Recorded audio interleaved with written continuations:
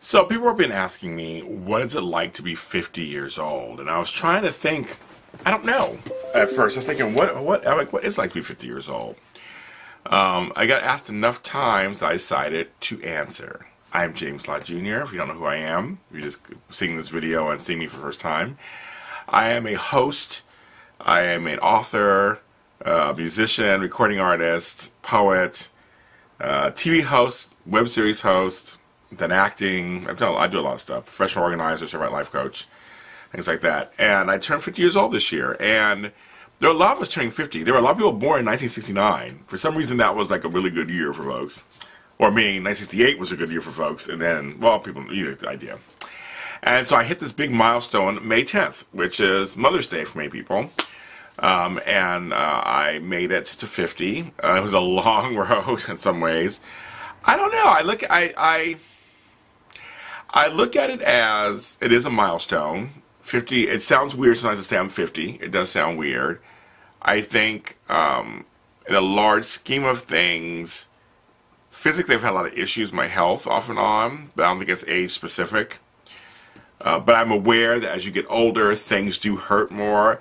Uh, also, uh, make, I make more noises when I get up and sit down.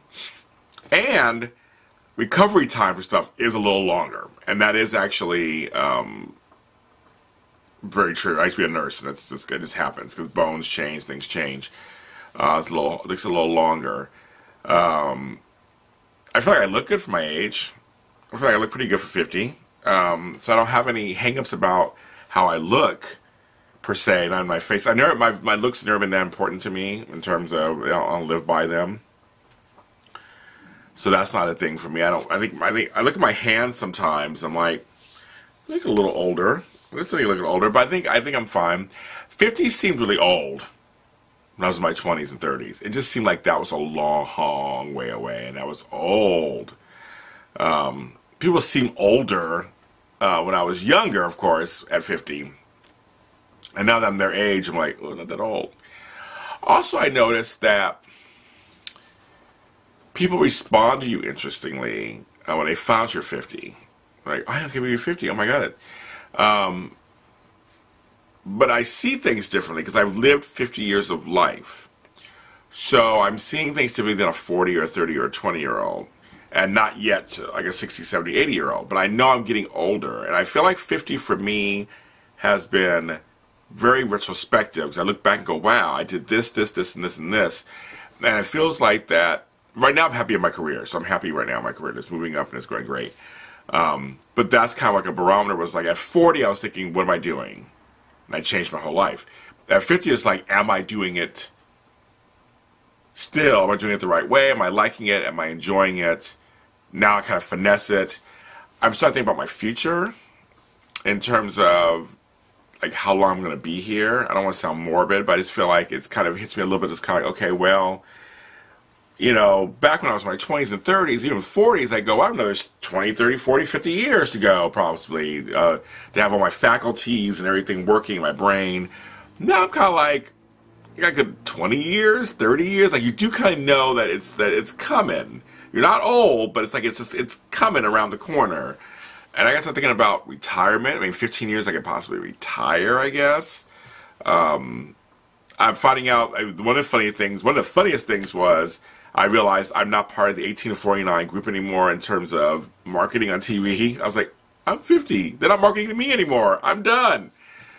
Um, that was kind of funny. I had to get a col- I have to get a colonoscopy at 50. That's one thing that you have to do. Um, they're kind. Of, I got some pills.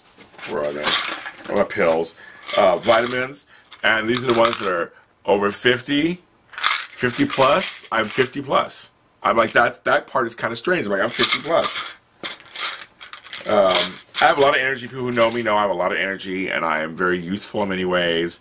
But I do see things differently than a lot of the younger folks. And there's times I'm reminded because I work with a lot of younger people. We're not the same generation, and I am reminded. And I may come across like a dad sometimes because I can't help it. I have this deep voice. I'm older. I am a dad. So and realize so it's kind of it comes across that way. And I'm noticing that I do re- I do react to things like an old person sometimes.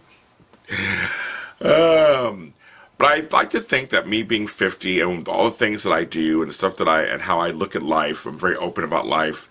That hopefully that shows people that age, in some ways, age is just a number. In some ways, it's a number that does make a difference.